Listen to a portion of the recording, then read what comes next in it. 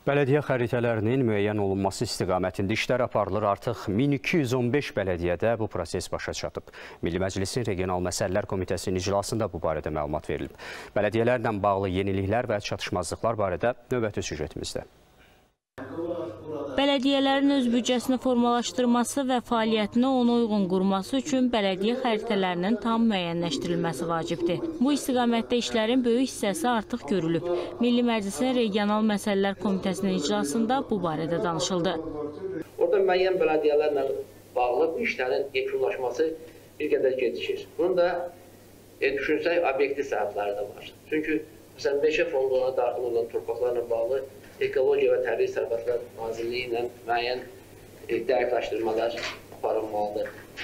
Bəzi bələdiyyələrlə e, yerli icra orqanları arasında fikir ayrılıqları var o sərhədlərlə bağlı.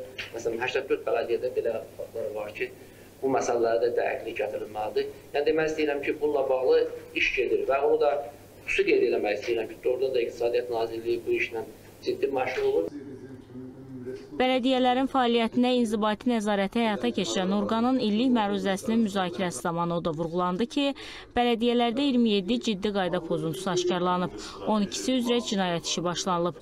Bələdiyyələrin yol verdiyi digər qanun pozuntularına gəlincə, İnzibati nəzarət orqanının təklifi və ya məhkəmə iddiaları əsasında ümumilikdə 13 min hektardan çox, bu 2021-ci ilə müqayisədə 44 və yaxud 4000 hektar çox torpaq sahəsinin qanunsuz verilməsi barədə bələdiyyə qərarları ləğv olunmuşdur.